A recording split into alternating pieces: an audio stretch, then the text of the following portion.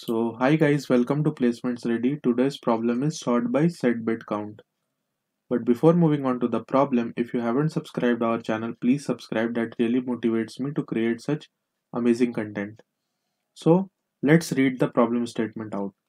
So we are given an array of integers. Sort the array in descending order according to count of set bits in binary representation of array elements.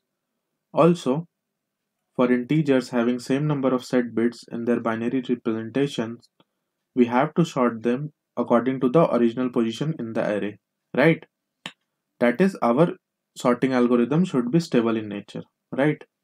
So basically the problem is that we have to sort the array such that the number having the most number of set bits by set bit what I mean having most number of ones when we represent them in the binary representation okay? So they should appear first. So for example in the input array if we see like 15 has four number of set bits right? Basically set bits is equal to number of ones in the binary representation of a number. Then 7 should appear because it has three numbers right? Then 5 then similarly 3 but here you can observe 5 and 3 have the same number of set bits but 5 appears first uh, in the input array right? So in the output 5 should appear first okay? So this is our algorithm. So stay till the end of the video because I am going to discuss some of the optimizations as well which will help you in clearing the test cases for this problem okay? So here we can use the sorting algorithm right? Which is inbuilt in C++ STL but if you don't know about sorting you can watch my videos on this which I have previously taught. I will provide the link to this in the description so you can check it out. So we can use the sorting based approach. Basically we can sort this array and we can pass a custom comparator right? Let's say we name it as compare right? Then what the compare function do is that it will accept two parameters right? But here in the problem it is also written that we have to sort the elements. If their index is equal then we have to sort them according to their position. So what we will do first step will be to make a vector of pair. Okay so we will be making a vector of pair of type int comma int. And it will basically store the number and its index right? Then we will sort this vector right? And then we will pass on a uh, like comparator right? Then in the comparator it will be the basically the containers will be of type pair of int comma int right? Let's say a and pair of int comma int b right? Now we have to check which is containing the more number of set bits, right? So let's say A has X number of set bits and B has Y number of set bits, right? I will let you know how to calculate the number of set bits just in a while. Let's discuss compare function first. So we will find X, we will find Y. Now we will check if X is equal to equal to Y, then in that case we have to return that element first, which is occurring first in the array right? So that we can get easily through the second part of the pair right? So in that case we can return a dot second less than b dot second which means the element which appears first will be returned in this case. Else what we can do? We can simply return x greater than y. In that case what will happen the number which is having the more number of set bits will be getting returned. Okay. Now the problem boils down to counting the set bits right? So this is so this can be done in three ways.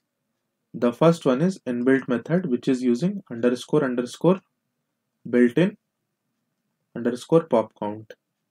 So you can read more about it on documentation of C++ reference.com or Geeks for Geeks. Right, basically when we pass an integer to it it returns the number of set bits.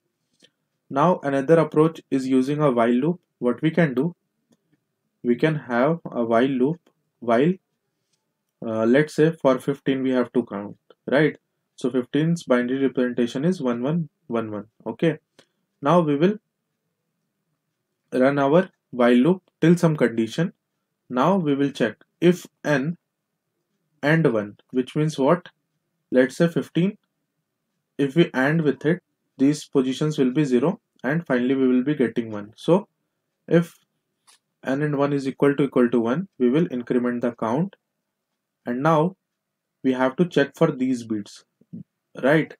So we can have these bits by right shifting n by 1 so we can right shift n by 1 place.